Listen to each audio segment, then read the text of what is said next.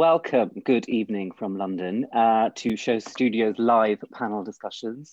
Um, most of you know the drill by now, but I am Dal Chodha and I'm going to be with you for the next 45 minutes with a uh, wonderful selection of panelists, um, all again fresh graduates from Central St Martin's, uh, the School of Fashion Communication. So um, we are going to talk about couture um, and in particular uh, the relevance of couture in the digital age. That's a kind of broad summation of what we're going to try and unpack today. Obviously, looking at some of the recent shows, um, show or the release of the video was actually a couple of hours ago, so hopefully everybody here has had a chance to look at that. Um, but before we get into that, uh, each of the panelists are going to introduce themselves and tell us a little bit about um, the work they've just been doing. So let's start with you, Jana.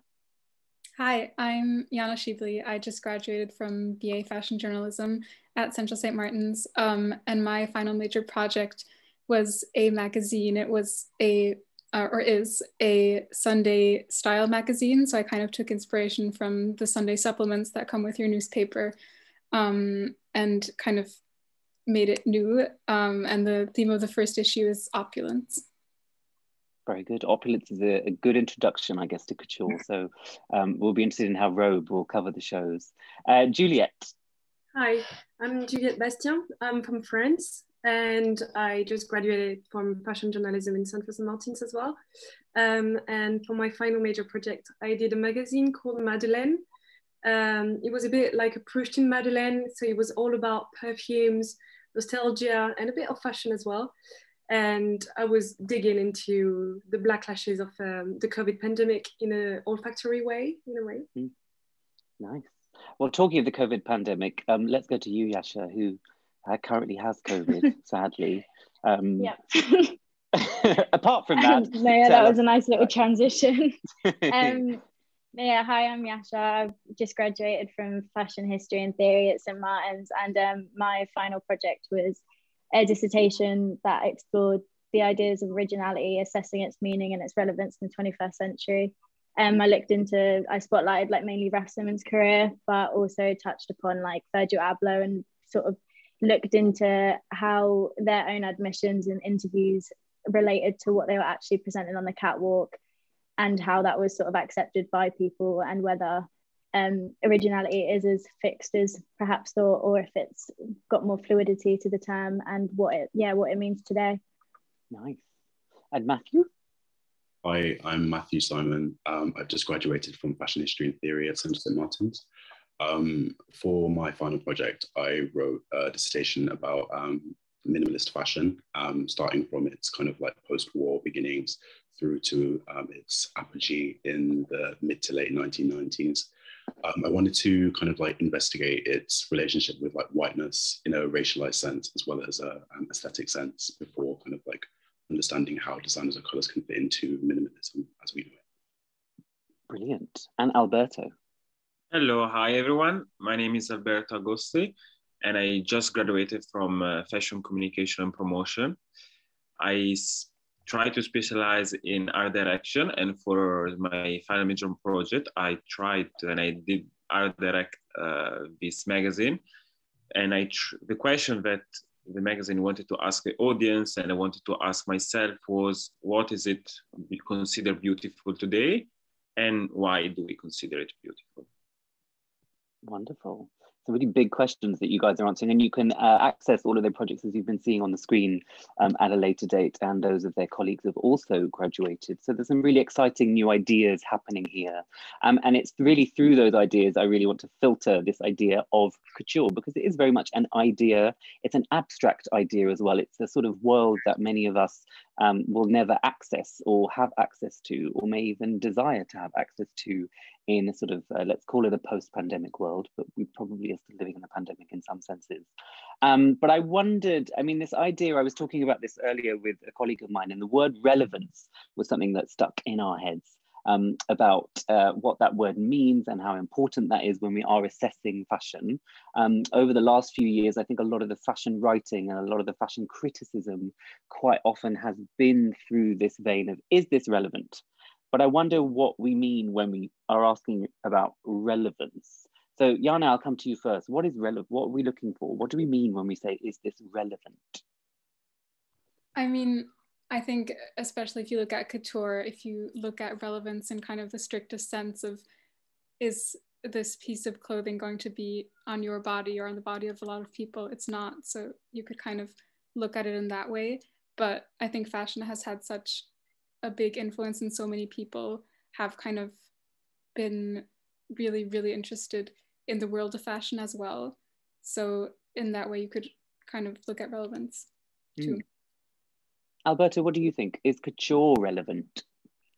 I think that uh, so the first time I wrote the title, the first thing that came to my mind is like uh, it's kind of an oxymoron in the sense that relevance and especially for the digital world and couture they're just the opposite like they stand for two completely different things couture is about craftsmanship is about uh, it's an art form it's about privilege whereas whatever it is digital it's supposed to be the opposite of this or at least so is it relevant? First of all i think it depends who do you ask this question. Like who is the person that answering? Mm. but for sure i feel like it's interesting to see how especially now after covid we had so many so many we had a few brands that started focusing on couture and it's kind of like an opposite like we are in a period of crisis but at the same time we are focusing a lot on couture. And i think mm. that's also the only answer that you have because mm. it has two different targets. Yeah. Who here is excited about um, the possibilities of, of the digital age um, and what that's meant for design and fashion in particular? Anyone? Yeah. Good.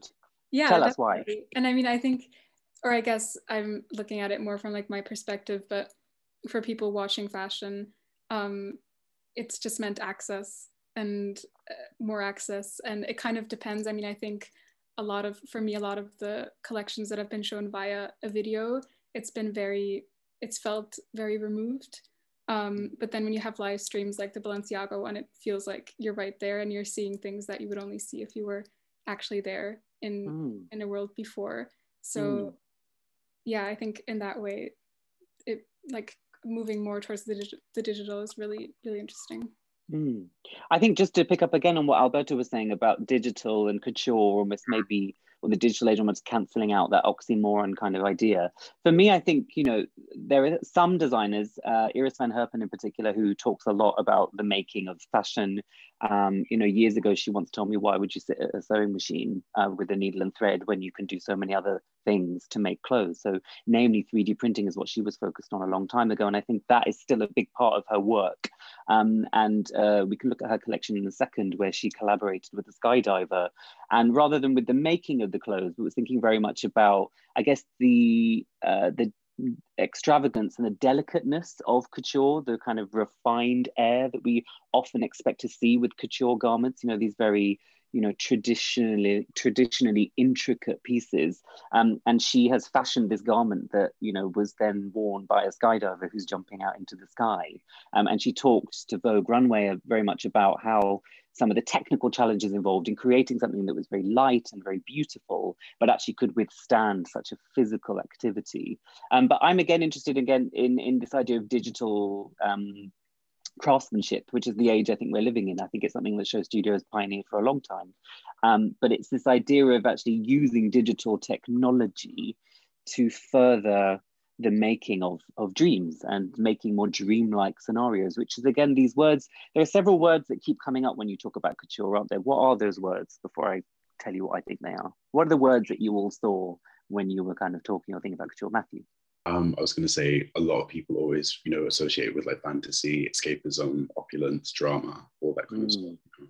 Um, and are those words that you feel are still relevant today? Um, I mean, to some designers, yes. Like, I think a lot of the time when people think they're, you know, kind of going to make a couture collection, they kind of get bogged down by the idea of what couture is supposed to be rather than what it could be. Um, you know, in the way you see designers kind of referencing a very kind of 1950s, 19 like, you know, post-war kind of like silhouette. That's kind of, a, you can see, you know, there in that moment, they've kind of been bogged down by the idea of I need, I'm presenting a couture collection, so it needs to look a certain kind of way. Mm. Um, I think though some designers have shown that you don't need to kind of I think that you can think you can approach it in a completely different way. I mean, it's like such a bit of a, it's a bit of a cliche kind of answer at this point, but when Raf Simons was creating um, couture, I don't think those were kind of like questions on his mind of I need to be thinking what, what was couture and how can I make a 1950s silhouette right today? It could just be something that's much more modern, I guess. Mm -hmm. Yasha, did you look much at Raf's um, women's wear in your? In yeah, your I um, yeah, a lot of it. Well, uh, not a lot of it. Most of my chapter two, um, sorry, chapter three was about his uh, debut collection at Dior. So yeah, I definitely did. But I think um, like so far, like I agree with what everyone's sort of been saying. I think it is interesting, like the idea of digital and couture with the whole accessibility and then like exclusive sort of market. But um, I think, oh, sorry, I've literally completely lost my whole train of thought there. Um, no, it's gone. Hold that on. happens. Sorry. What did you What did you th- What did you think of Iris van Herpen's collection? Yeah, yeah I think. Um, yeah, no, I think like the whole idea of a couture skydiver is insane. Like how like couture is a lot about craftsmanship and the idea of making something that can withstand you know falling that high and you still look like elegant and it still works and i think a lot of couture as well like people want to see movement in clothes and i mean i don't know if you can get more movement than falling through the sky but yeah um i think it was like an interesting season because i think there's a lot of talk about how the pandemic and covid obviously you kind of want couture like couture's a lot of the time it's the part of the industry that like really excites people. It's where really like you can do sort of what you want and it's like the best of the best. That's kind of like what people want to see like they want to see extravagance. And then i think like oh, sorry my pants just fell. Um and i think coming into this season like a lot of people might have wanted to have like that element of escapism where you know we've been sort of stuck in for so long like we want to see what sort of when creativity has been tested, what people can come up with. And then I think it was really interesting that we're in like this sort of period where it can shift and like with Balenciaga, you know, like the like denim look or something, it's like pieces that um might not necessarily be couture, like maybe if you didn't mix them with like the Philip Treacy hats, like maybe that wouldn't necessarily come across as couture, but it's also interesting because it's sort of like the clientele has also shifted and what ideas of luxury and couture is also very different now because people yeah i think they want luxury and couture in every aspect and like high quality in every aspect of their wardrobe not necessarily like i don't think the focus is just necessarily on gowns anymore mm. Let, let's go to the elephant in the room that is Balenciaga because I mean it's the one that everyone's itching to talk about. Um, it was a very highly anticipated show. It was three years in the works, this collection, and this idea of of how uh, Balenciaga would come back to the couture schedule. Um, uh, Juliet, did it give you what you wanted? I, it was far, like, I was amazed. I think he perfectly paid an homage to Cristobal legacy, but he also, I don't know, it was a perfect balance between paying an homage and kind of reinventing it for modern couture, still with his touch. I mean, that's why he's been appointed at the head of, uh, of the house now, because of his complete opposite world from uh, Cristobal. But I don't know, it kind of works at the end. It creates mm. something really intriguing. Like there is a good alchemy happening there. Um, so yeah, to me, to me, he just he took up the challenge really. It was brilliant. Um, mm. what did you have a favorite look or look that stays in your mind? Not the looks, but the hats, the the matador yeah. hats. That was I don't know. It, it just gave um, a perfect balance to the silhouette as well. Um, yeah. And there was a bit of a mystery happening because the, the face was half covered. And I know his models are already well known for being a bit monstrous, like this is how they are described. Um, so yeah, it's a good hide and seek happening there. The hats, mm. the matador hats would definitely mm -mm go to. Who, just out of interest, who describes them as monstrous? That's an interesting, interesting word. Um, that's something I've read somewhere. I don't. It's been a while ago. Um, I've read that um, the people he the, the models he used for his shows. Um, I know some some are not speci- specifically models. They are people yes. in the street. I think that was back in 2020. Yeah. People in the street or um, artists or whatever people they were. Um, haven't checked for that one uh, if that was still happening again, but I know he's kind of breaking the beauty myth in a way with the very thin model, the high cheekbones. No, he I don't know. He's designing. He has his will, yeah, which is really clashing with uh, the Balenciaga dusty image we could have. Yes.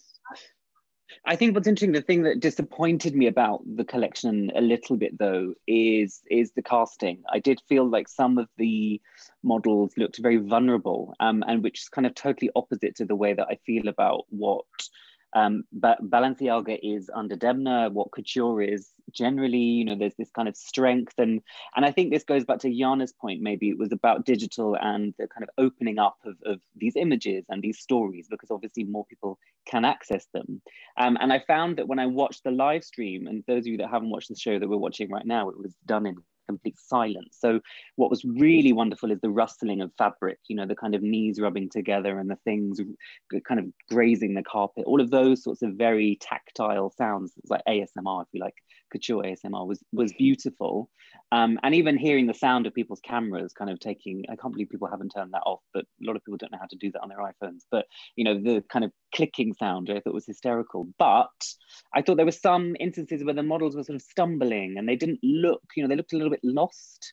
Um, and that really killed it for me. Um, but then when I went back and looked at the actual lookbook and the images, that's where there was a, that's where I understood what was happening. You know, that felt very very powerful for me as a still image. And maybe this is something about a lot of these couture gowns. We tend to only access them as still images. We'll see them in museums. You know, we don't see them in red carpets. We don't see them, uh, or you see them flat in a magazine. You never really see it in three dimensions. So it worked as a photograph, but for me, kind of seeing the models navigating this kind of beautiful space um yeah it kind of killed it kind of took things took me out of it alberto what do you think i think that um so i was very excited about it like i was dying to see it and i feel like the presentation so with way they decided and the fact that they hyped us a lot by deleting everything on their instagram and then all around paris there is just like a white page written Balenciaga couture, so like you expect a lot. But then I'm not sure that the the collection screams couture. Mm. Like also where they it has been commented. I think they were uh, demo. Um, now doesn't come out. Democratized. Uh, them has democratized fashion with this couture runway, but then I don't feel like it has exactly done that. well, I don't think you can, dem- you know, democratize couture. Exactly. The whole thing is is ridiculous. You know, to say that is doesn't make any sense because yeah, they, you know that's not what this is sure. about. Yeah. But um, Matthew, go on. Finish. No, no, no, no. I was just saying. At the same time, the look, I feel like, is there such a difference compared to his ready to wear? From just looking, because of course, like we weren't there, so we can't appreciate the the the elements that you can only appreciate if you're there. I'm not sure that had that much of a gap in between. Mm. Matthew, what did you think about it? Because I'm really interested in, again, in your research into minimalism, because to me, there's a real kind of uh, rigor to what Demna does, and particularly to Balenciaga. You know, it's very architectural, it's very sculptural, you know, these words that we use very often to describe hoodies and sweatshirts these days because that's all we can really find on catwalks. But there is a sense of minimalism to this. Um, would you agree? Um, no, absolutely, absolutely. I was thinking about it. Um, a lot of, I think it's one of those things of looking at the collection. Um, I was I was impressed by it a lot actually, um, and like it's taken me a while to kind of understand, I guess, like what Demna's doing at Balenciaga. But um, looking to like the shapes and everything like that, it was very minimal and kind of like harks back to that kind of whatever's considered to be the golden period of couture in the sense of like, you know, kind of like the pursuit of some a, new kind of shape, I guess, and like architectural cut and like kind of appropriating ideas from like that uh, American minimalist art like practice and like putting that into clothing. And you see it all within this collection. Um, my initial thoughts on the whole collection itself, I thought it was kind of like erotic in like a really kind of like um it sounds really almost like at odds with each other, but I thought it was quite erotic in the sense of, you know, when you mentioned you could hear the kind of like the denim, the vinyl, the leathers, and like, you know, mm. kind of nylon rubbing up against itself. I thought that was quite interesting. Mm-hmm. And I remember I remember reading something um, when I first started at Central St. Martin's about how men in the kind of um, 19th century, like the kind of, um, I think, actually, I think it was like the Victorian period, um, thought the kind of sound of a woman's dress kind of dragging across the floor was quite an erotic experience. And I thought mm. that was quite interesting to think of that, like, you know, within the context of the show. Um, and I, going back to what Alberto said as well about, you know, whether there was a kind of um, enough distance between the ready to wear and the couture, I did think it was really interesting that Demna and like the team at Balenciaga was still kind of revisiting the ideas that they've had over the year, over Demna's, Demna's tenure at Balenciaga. It's a bit of a tongue twister to say that. Um, just in the idea of like you know the trench coat the kind of like the jacket that's falling off the shoulder and revealing the nape of the neck in like a couture kind of way but just actually now instead of making ready to wear that kind of aped couture bringing that all back into like a full circle and being like i'm presenting it back to you as actual couture now mm. i mean they said the press release and mentioned informal concepts are transformed into more glamorous arenas. That's kind of how they put it. Um, but I wondered. Uh, I, I, again, I was thinking. You know, I didn't. I my immediate reaction was I don't need the denim. Like I didn't need that in there. But again, as with anything, once you read more, the denims were all um, knitted or woven on antique looms. So of course, at couture level, everything is made in an incredibly uh, specific and, and, and labor intensive way. That's essentially what you're investing in when you buy a piece of couture, if indeed you're allowed to. Um, you know, it used to be the fact that not everybody was allowed to buy couture. You know, you had to sort of be uh, um, you know, signed off on a list. It's like buying contemporary art, really. Um, and so I wonder if there's been an easing of the client list also. Um, Jana, did it give you what you wanted?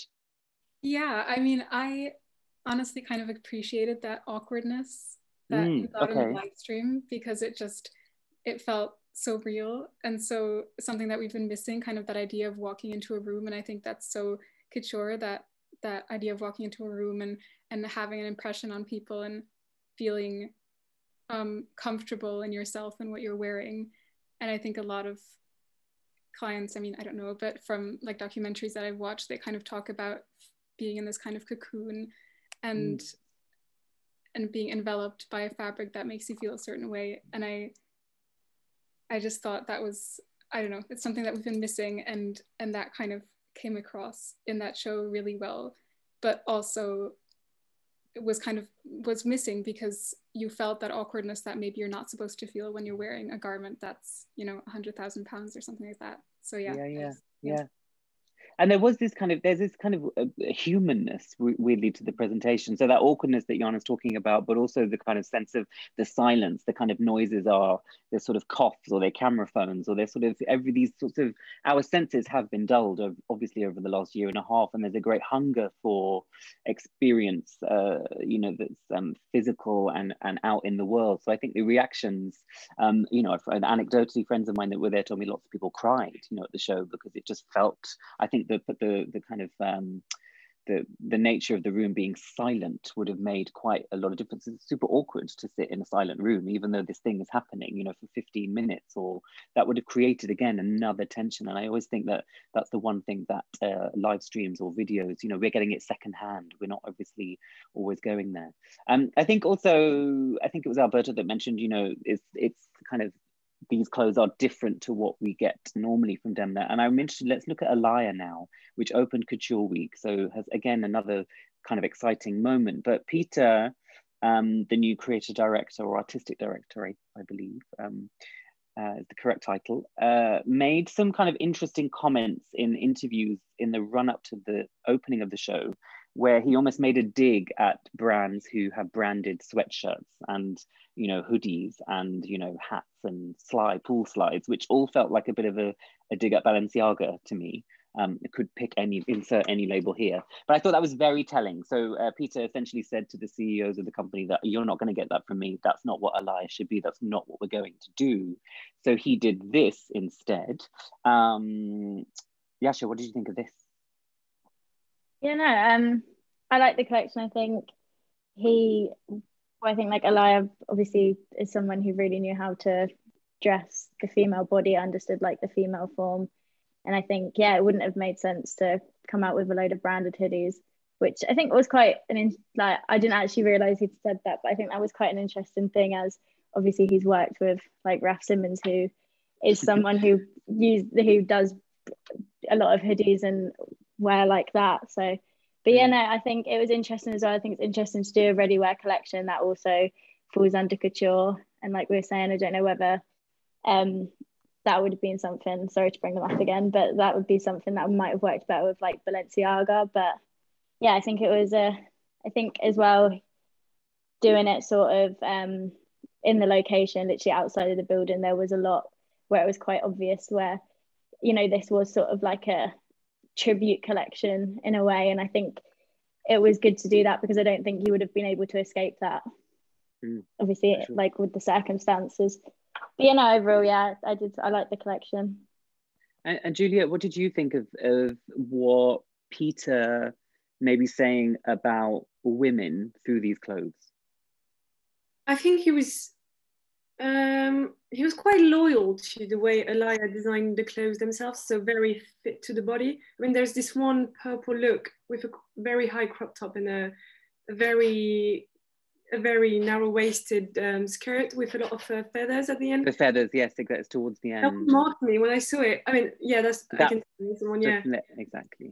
It's fabulous. I mean, it's literally underlining the, the ideal woman curves in a way but you can you cannot help being mesmerized in a way by this. So mm. i don't i don't know what he says about women. I think he's just trying to tune the Alaïa channel the, the the silhouette in a way. Um, but I think I, I, do think he did a great job. I mean, this look, honestly, I'm still I'm still mesmerized by it. I yeah, know. I mean, watching if you watch it in movement, it's even more of a kind of a, a real it's a real superstar moment. Um, this outfit, but I did wonder if if it if it sort of you know Alaïa does represent quite a traditional idea of woman and femininity and even the hourglass shape and you know there was a real misstep for me in the casting again because i just needed to see women that naturally have that shape. But they don't need that shape put into the clothes because a lot of these girls don't necessarily um, have that hourglass shape. It's the clothing that's built to give them that, which is what Alaïa did really well. But I thought it, it's a bit of a misstep to not necessarily present a slightly more um, diverse uh, understanding of, of the sorts of uh, things that we are saying are beautiful you know the kind of types of women the archetypes of women that we're that we're holding to account. Um that just felt a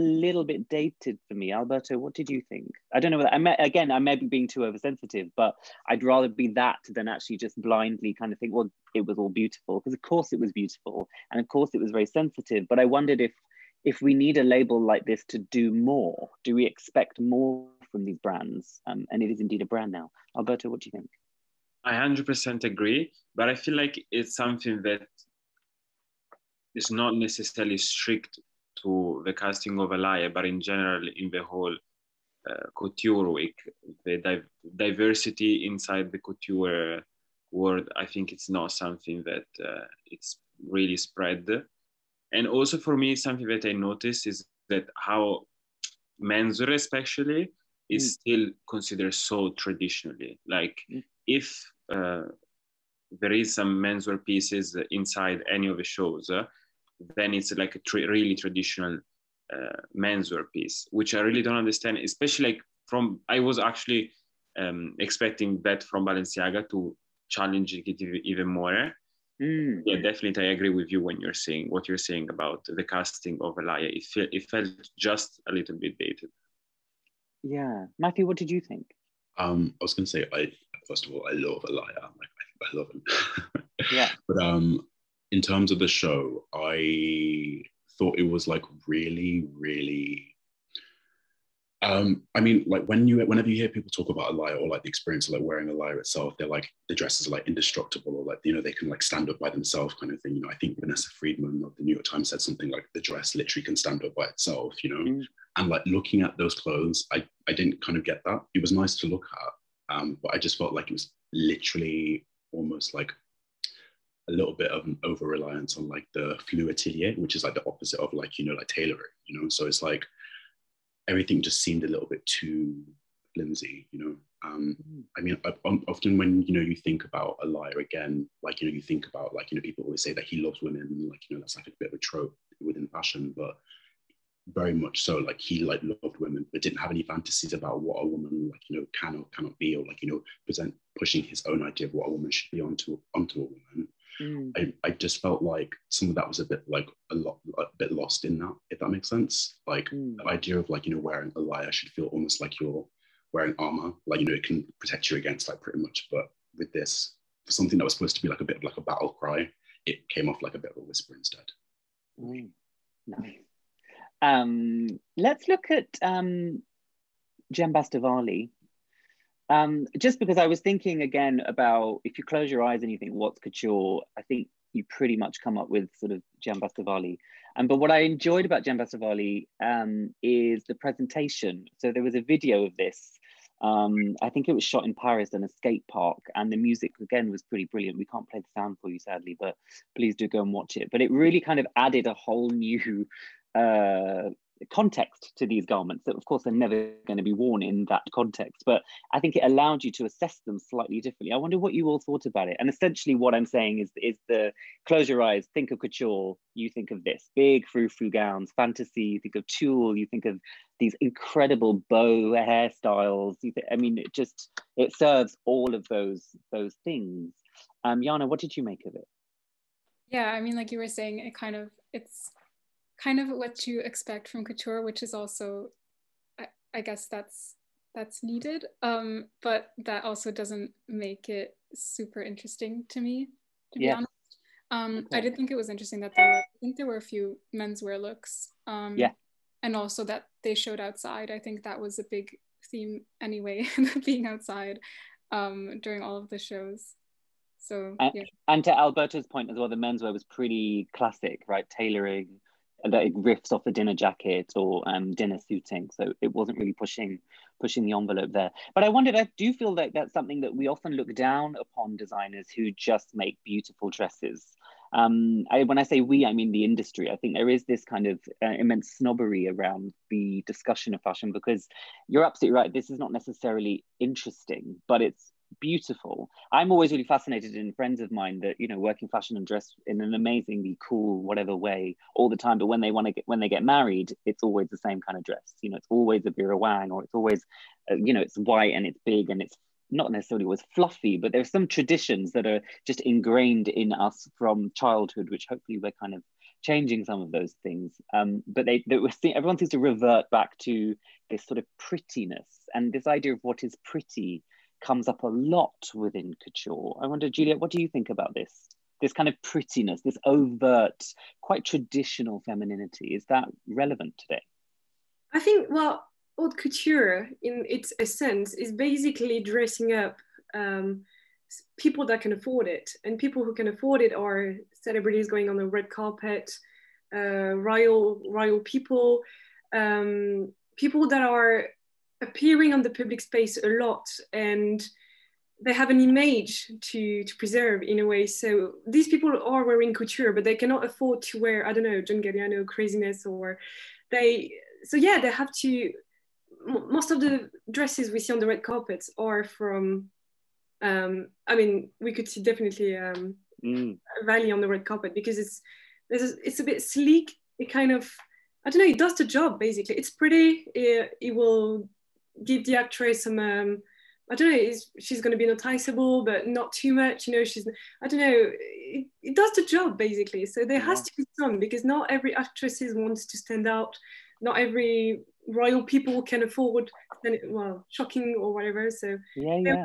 they are answering to a need basically. Yeah. So that, that's but, what is this preserved femininity and prettiness, I think but I love that that you're kind of you're kind of flatlining all of the fantasy and just going it does the job, and I think that's a very important thing to remember when you are looking at fashion, particularly couture. You know, um, we're not talking about gowns that are going to be you know change the way we think necessarily, but these are gowns that will be bought for parties or for very important moments in uh, if we're talking about women's wear in particular in a, in a woman's life a very wealthy woman who you know will want to look her best and whatever her best is of course is, is questionable to all of us. We can all have an idea on that. But generally there is this kind of level of um, femininity prettiness opulence glamour that people are, are, looking for. And i think Valli is often overlooked because it serves that immediately. I did really enjoy the makeup too. The pink faces i think are hysterical um, but super fun. But this leads me on seamlessly to dior. Um, now, um, Dior is a label that is, um, I always enjoy when there's a Dior show because, you know, Twitter, um, fashion Twitter kind of sets itself on fire and has a great time uh, unpacking what Maria Grazia Chiuri has presented. Um, why I wanted to go onto this now is because you talked about it does the job. And I think Maria Grazia Chiuri has done the job for a very long time and very successfully for her customer and for her audience. Now that, that may not necessarily translate in into the sorts of things we might want to see. But Matthew, what did you make of Dior? Um, I um, I noticed um, in the tweed section, I think that was the most interesting to me, just because it kind of like creates a link between my dissertation. Um, I noticed a lot of like uh, Courrèges, like Cardin, and like Bonnie Cashin in like you know the kind of like the horse riding cap and like you know the architectural shapes of the tweeds. And I know a lot of people on Twitter were saying we don't need to ever see tweed again. It's like sometimes, sometimes tweed's nice, you know.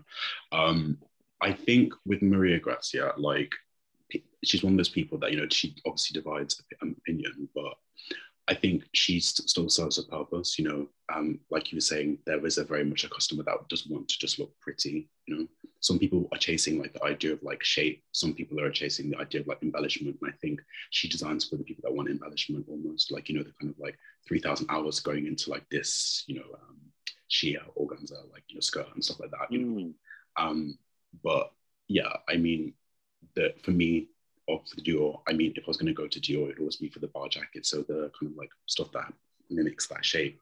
I always thought those were more interesting as well as the tweed, I would say. Mm. Yana, what did you make of it? Yeah, I think there was a kind of somberness to it somehow that was different from other collections that she's done. Um, and kind of a focus on on craftsmanship again and, and kind of like texture and the heaviness of that as well. So I think that's and and the walls. and the um, walls, which were yeah designed by an artist uh, called yeah. Eva Jospin, um, who yeah I mean again I think a big focus for for this collection. Um, they said was very much about the textile and the tapestry and the handloom and the making of of things um, and also after i think three or four seasons of doing videos and quite elaborate videos um, I think the kind of somberness maybe Yana is coming through in the fact that it was essentially a runway show. What was very interesting again though is that after the show, this space was open to the public, so the public um, could go in and, and, experience the walls as as works of art, which is indeed what they are. Um, so that I thought was interesting. But Yasha, what did you make of these clothes? What do they do for you? Um, I mean, I like the wolves, but I, I think it was really like I think it was quite muted. Like I think in regards to obviously there was like a big focus on the fabric and craftsmanship, like that was all pointed, but like that was all them boxes were ticked. But I think from like sort of as well the research I was doing for my dissertation, it's kind of like how and I think couture is a big part of it. Like when you take on a brand that is such a heritage brand and has such a big history, um, you know like what is expected and then also at the end of the day like fashion is a business. Like you've got to make money at the end of the day. Like is your deal like is the clientele coming because they want like the latest version of a couture bar jacket or sort of do they want something more? So i think it's always interesting to see how people reinvent or like their approach what they think is relevant now mm. in terms of like house codes. But yeah i think it was a like don't get me wrong i saw the clothes and thought that a, a, lot of effort's gone into them and the focus really was on the fabric but i do think it was quite like muted and i think it left a bit more to sort of be desired. But again like very feminine as always. So like in that respect to like dior's codes i think yeah. But in terms of like if you want to sort of like a shock or if you want to be like wowed maybe not this collection. Mm. um uh moving on to chanel uh, which I think is again a, a similar in a similar sort of situation. Again, another label that um, fashion Twitter and Instagram didn't seem to enjoy too much. Um, Alberto, what did you think of uh, Chanel? I think that um, yeah, it's. Uh... You're going to be like Yasha. I really like the floor. no, I feel like Chanel is uh, has to answer to a specific clientele and has a name. So it's really difficult. Uh, so for sure, if it, it wasn't like exactly like it wasn't like a shock or like oh my god, like what am I seeing? Uh, there was one guy, one look. Uh, I feel like the last one of the last ones that was quite interesting. There was, uh, um, but apart from the apart from that, the rest is uh, like maybe you wouldn't be able to say that it's uh, that one, the not not the last one, the one with the the white the one dress and the white underneath. No, the one on the left. Oh, who was listening to the the one, yes, this one. I thought this one was quite interesting because I think they tried to do a take like and I'm trying to make it a bit more modern. Mm. But yeah, it wasn't probably the show that first of all you maybe you wouldn't be able to say that it's 2021 because this happened and uh, yeah juliette what did you think of this chanel um, i think it was a smart move to put it in the palais galliera because of the exhibition um, but yeah we cannot see that much evening wear from far i remember it was mostly mm. day wear i think it's like dior in a way they there's no parties going on anymore or in the past year of course um, no ceremonies, no weddings. So they kind of just answered to their clientele's needs, which is mostly day wear, um, and kind of dropped off the, I don't know, the, the party dresses or, or the, the waffles or the, but there is a bit of, I don't know, we can find it with the, the choice of fabrics. Um, yeah. I think she, she mostly got inspired, um, Virginie Viard, uh, with artists who collaborated with Chanel yeah, um, and petticoats and a. And the twenties and thirties in particular. Yeah, that, that was the one. Um, yeah, I don't know, sort of um, nostalgia of it. I don't know. Um, I'm, I'm quite confused. I'm quite puzzled. Every time I see a Chanel show, I, I don't even know what to say about it. It feels like the same regularly. So. Yeah, yeah. It's it's also like Armani. Armani Privé is again a challenging label to to I guess unpack or talk about because it seems like it's very focused on its a final client and you know who cares if we understand it or not or if we like it or not. And I, I, think there's something of that a bit in chanel but you know this chanel couture show is there to sell more handbags and perfume so i just think there is a little bit of a misstep here. There's a missed opportunity to perhaps engage engage um, us a little bit more. Um, before we wrap up i wanted to look at uh, jean-paul gaultier um, so let's stay with the French designers. But obviously, Jean Paul retired in uh, January last year, but kind of hasn't retired. Um, you can still buy the perfumes by the bucket load, but the couture line would is remaining open and in operation. Um, it's a part of the business that I guess was doing the most well. Um, but uh, in a in a in the spirit of collaboration that seems to have been kickstarted, I think by Dries Van Noten and, and Christian Lacroix, who collaborated um, a few seasons ago, there is this new, renewed, and obviously we have Mrs. Prada and Raf Simons. You know, there's this really exciting space we're in at the moment where major label um, uh, designers are kind of getting together and, and, and, having Zoom calls and coming up with collections, uh, namely um, Sacai. Uh, Sacai's creative director was invited to take over this collection. Uh, apparently, Jean Paul had nothing to do, didn't really see anything until the show itself, didn't want to be involved too much, was very open to it being a sort of, uh, you know, to being her vision.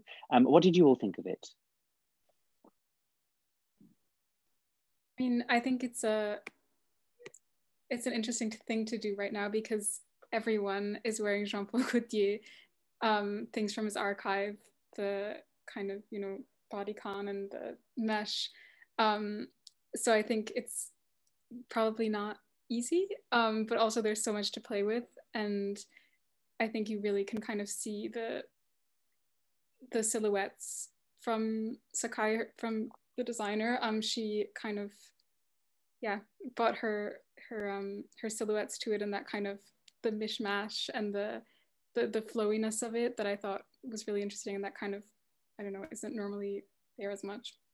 Well, I think Sacai is normally known for its chopping up of hybrids, you know, so you have a jacket kind of two different styles of jacket hacked together. You know, there's a kind of violence to the way the archetypes are treated that end up looking very beautiful. And I thought what was really nice is that she was doing that, but she was doing that with uh, Jean Paul Gaultier's archive. So you have all these iconic things being kind of made into Frankenstein, beautiful, opulent garments together. So they're all sort of ha- so we're recognizing bits and bits and bobs of it all. I think also there was something she interesting. She said that she didn't really need to look at the archive because it was kind of burned in her head already. You know, because Jean Paul Gaultier was so influential um, is so influential and was so influential to her. So I thought that was something quite nice about that as well, because so often we hear of this I went into the archives and I looked at this and this and this, but there seems to be a move away from designers admitting to doing that now. There's a couple of others I can't remember off the top of my head. I think even maybe, maybe Pieter Alaïa sort of said, I didn't look at the archives. You know, it's like, well, sure, no, but I'm sure, you know, your Instagram feed would have served you lots of images on your explore page because it's listening to you and will serve you what it's listening and what it's hearing.